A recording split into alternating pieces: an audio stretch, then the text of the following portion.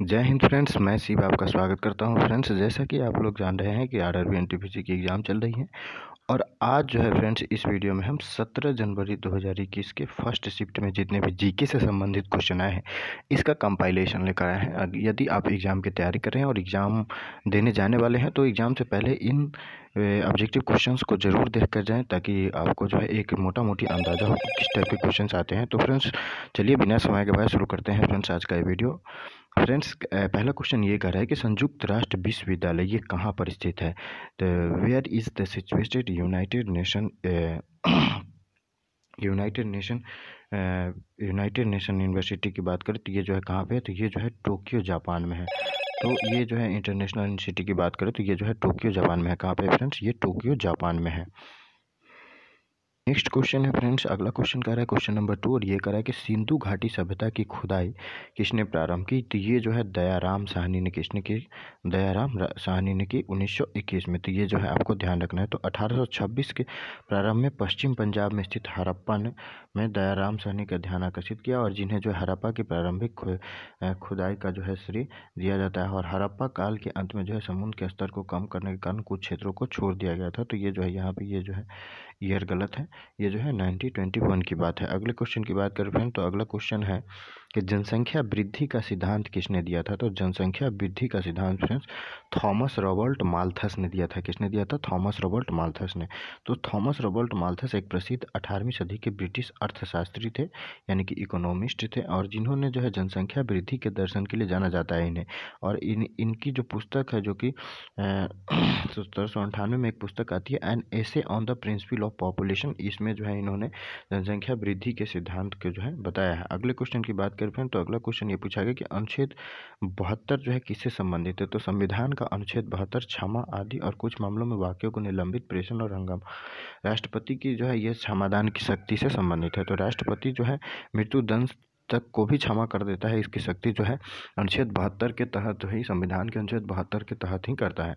अगले क्वेश्चन की बात करें फिर तो अगला क्वेश्चन ये पूछा गया कि यूनाइटेड नेशन ऑर्गेनाइजेशन इसका मुख्यालय कहाँ पे है? तो यूनाइटेड नेशन ऑर्गेनाइजेशन का मुख्यालय जो है न्यूयॉर्क में है और इसकी स्थापना जो है फ्रेंड्स ये चौबीस अक्टूबर उन्नीस सौ पैंतालीस को किया गया। तो तो यूएसए के न्यूयॉर्क में जो है यूनाइटेड नेशन ऑर्गेनाइजेशन का मुख्यालय है। अगले क्वेश्चन की बात करें तो विद्युत करंट विद्युत करंट जो है ये इसको किसके द्वारा मापा जाता है? तो विद्युत करंट फ्रेंड्स ये ए मीटर द्वारा मापा जाता है।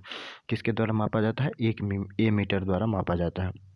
अगले क्वेश्चन की बात करें फ्रेंड तो अगला क्वेश्चन है क्वेश्चन नंबर सेवन और ये क्वेश्चन ये कह रहा है फ्रेंड कि भारत का सबसे लंबा राष्ट्रीय रा, राजमार्ग यानी कि सबसे लंबा एनएच कौन है? तो सबसे लंबा एनएच की बात करें तो एन एच फोर्टी फोर जो है सबसे लंबा राष्ट्रीय राजमार्ग है जो कि श्रीनगर से कन्याकुमारी तक है। कहाँ तक है? श्रीनगर से कन्याकुमारी तक और इनकी लंबाई की बात करें फ्रेंड तो सैंतीस यानी तीन हज़ार सात सौ पैंतालीस किलोमीटर जो है इसकी कुल लंबाई है जो कि उत्तर में जो है श्रीनगर यानी जम्मू कश्मीर के श्रीनगर और दक्षिण में जो है कन्याकुमारी कन्याकुमारी तक जाती है। अगला क्वेश्चन की बात करें तो अगला क्वेश्चन ये पूछा गया कि भारत के किस शहर को मोतियों का शहर कहा जाता है? तो मोतियों का शहर फ्रेंड्स हैदराबाद को कहा जाता है। किस शहर को कहा जाता है? मोतियों का शहर तो हैदराबाद को मोतियों का शहर कहा जाता है। अगला क्वेश्चन ये पूछा गया है कि किस उपकरण उपकरण को जो है किस उपकरण से जो है वोल्टेज को मापा जाता है? तो वोल्ट मीटर से जो है वोल्टेज को मापा जाता है। तो वोल्टेज को मापने के लिए हमें किस उपकरण की आवश्यकता होगी? वोल्टेज को मापने के लिए वोल्टेज वोल्ट मीटर की आवश्यकता होगी। अगले क्वेश्चन की बात करें तो अगला क्वेश्चन ये पूछा गया कि मोहन मोहनजोदारो की खुदाई का नेतृत्व किसने किया था? तो राखल दास बनर्जी जी ने जो है मोहन मोहनजोदारो के खुदाई का नेतृत्व किया था। तो मोहन मोहनजोदारो की खुदाई का नेतृत्व किसने किया? राखल दास बनर्जी ने।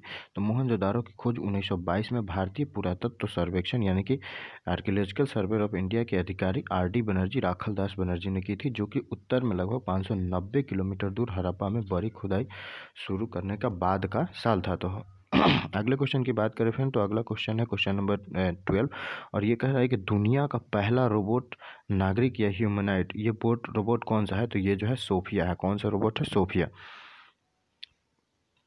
इन ये क्वेश्चन का है कि निम्नलिखित में से कौन सा जो है, खोज इंजन नहीं है? यहाँ पे आपको ध्यान देनी है एग्ज़ाम में, नहीं और है, में कंफ्यूज नहीं होना है। तो खोज इंजन सर्च इंजन नहीं है तो इंस्टाग्राम जो है, ये सोशल नेटवर्क है सोशल साइट है तो ये जो है एक सर्च इंजन नहीं है। जबकि सर्च इंजन की बात करें तो गूगल हो गया गूगल क्रोम हो गया मोजिला फायर्स बॉक्स हो गया ओपरा मिनी हो गया यूसी ब्राउज़र हो गया, ये सब जो है सर्च इंजन है। अगले क्वेश्चन की बात करें तो अगला क्वेश्चन है क्वेश्चन नंबर फोर्टीन और ये कह रहा है कि निम्नलिखित में से किसका मुख्यालय जो है, कोलकाता में नहीं है।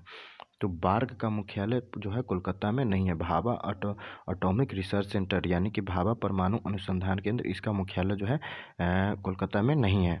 तो इसका मुख्यालय जो है कोलकाता में नहीं है। अगले क्वेश्चन की बात करें, इसका मुख्यालय जो है मुंबई में है। अगले क्वेश्चन की बात करें तो अगला क्वेश्चन है मधुबनी पेंटिंग एक किस प्रसिद्ध राज्य की जो है परम पेंटिंग है। तो ये जो है बिहार के मधुबनी जिला की जो है प्रसिद्ध पेंटिंग है। इसे मिथिला पेंटिंग के नाम से भी जाना जाता है। और भारतीय उपमहाद्वीप के मिथिला के क्षेत्र में जो है विभिन्न समुदायों की महिलाओं द्वारा जो है यह बनाई जाती है अभी भी और यह बिहार के मिथिला क्षेत्र में मधुबनी ज़िले से उत्पन्न हुआ है।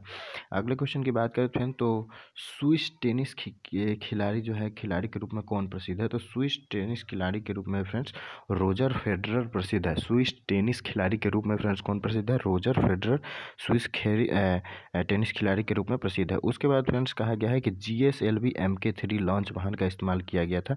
तो चंद्रयान टू को लॉन्च करने के लिए friends, G S L V M K three launch वाहन का उपयोग किया गया था। अगले क्वेश्चन की बात करें फ्रेंड तो अगला क्वेश्चन ये कहा गया है